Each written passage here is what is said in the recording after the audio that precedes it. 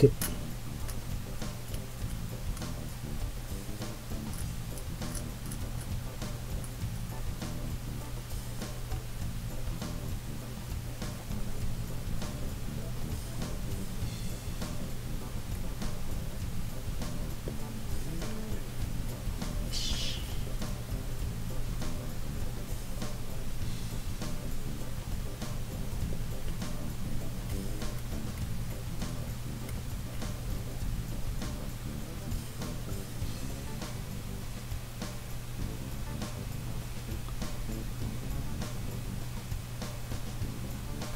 これでこうですね。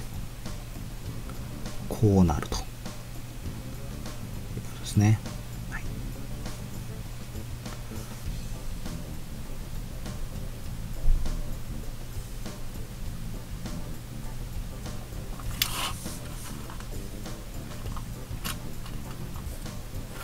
でえっ、と持ち手というかね塗装の時に不便なのでお尻に穴開けます。